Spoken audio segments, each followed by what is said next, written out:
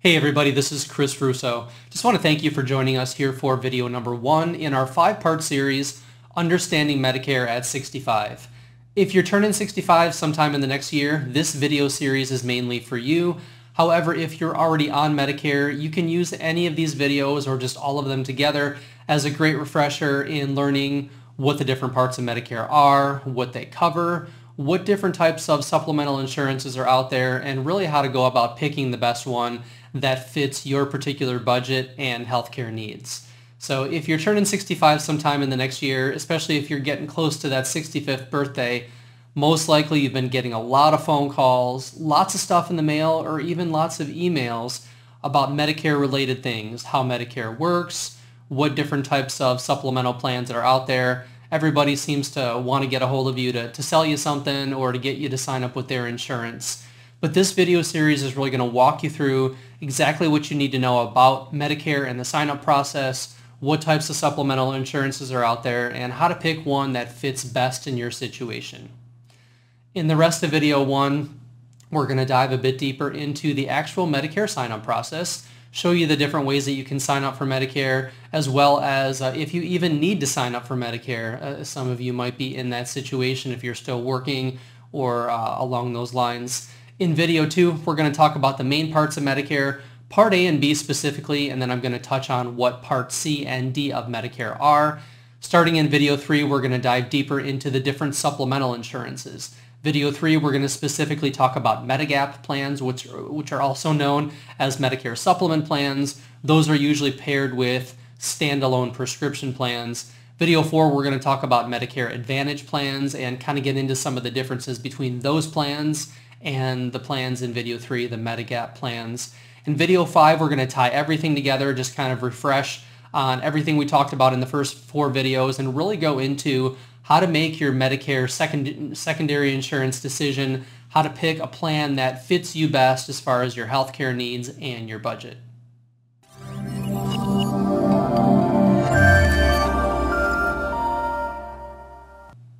Okay, so let's dive a bit deeper into the Medicare enrollment process and really figure out what's uh, involved in getting signed up for Medicare.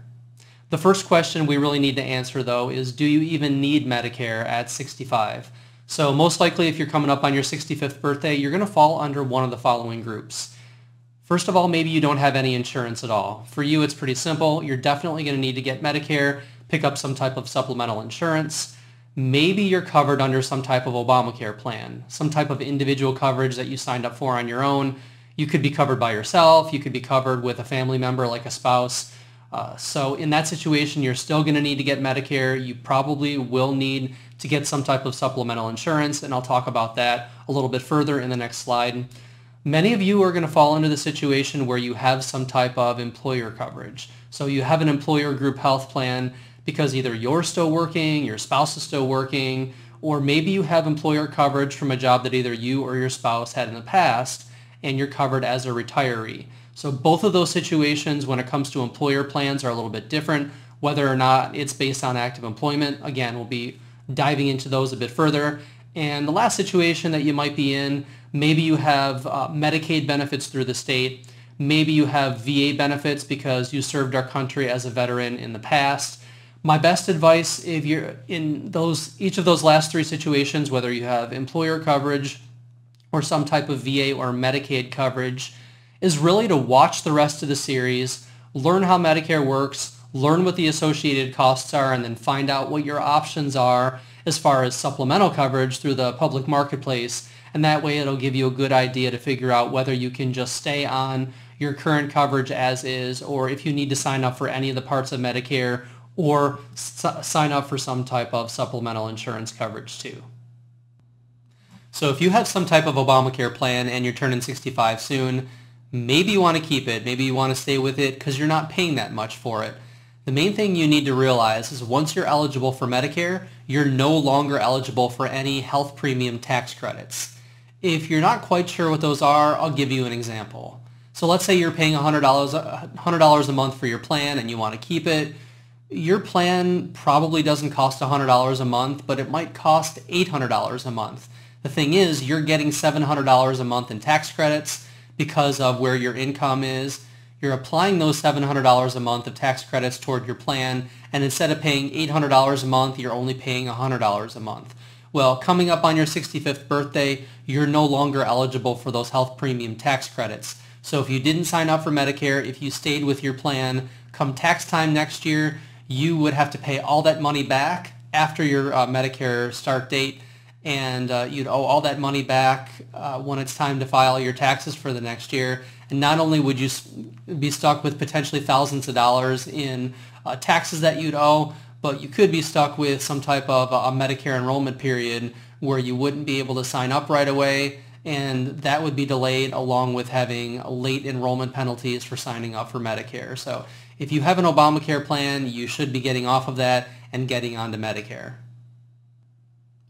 If you're still covered by an employer group health plan because either you're still working or your spouse is still working, there's several things that you need to think about and consider when making your Medicare decision. So because there's so much that goes into this decision, I've put a link below this video uh, as well as I'll link to it again at the end of the video.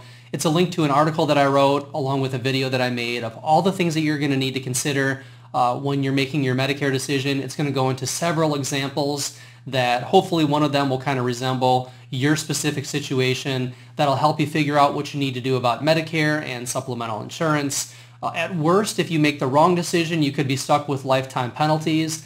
And at best, you could either be overinsured or possibly underinsured and leave yourself exposed to uh, some type of uh, additional cost that you might not need to have to pay if you do the right thing when it comes to signing up for one or more of the parts of Medicare. And if you're covered by some type of employer coverage because uh, you've had it since retirement or maybe you've had that health insurance since your spouse retired. Uh, first of all, you're in the minority. A lot of employers have done away with any retiree health coverage. Those of them that have kept it have seemed to it's it's there because it, it's meant to bridge the gap between the time you retire and the time you're eligible to start Medicare. So in almost every situation, you're going to have to sign up for Medicare, specifically Medicare Parts A and B, which we're going to dive into a bit deeper in the next video. Um, most of that coverage, even if you can keep it after 65, really isn't that good. Again, click that link that I've put under this video because that link will dive into not only what you need to do uh, with, with employer coverage if you're still a current employee, but what you need to do about it as a retiree. And situations can be uh, a lot different uh, whether or not you're the retiree or your spouse is the retiree. The coverage can be a lot different at 65 based on uh, what each of you pay. So again, a lot of things to consider. So click that link, check out that situation to see what's going to be the best thing for you to do. But again, just watch the rest of this video series, get an idea for what Medicare covers, what the supplemental insurances cover, um, what is really going to be out there so you can compare it to your employer coverage to make really that best decision in your situation. So if you figured out you do need to sign up for Medicare at 65, the first thing to let you know is that if you're drawing any type of Social Security income, you're going to be automatically signed up for Medicare. So you don't specifically need to sign up for Medicare. Your Medicare start date is going to be on the first day of the month you turn 65. So if you if your birthday is July 17th, your Medicare start date will be July 1st.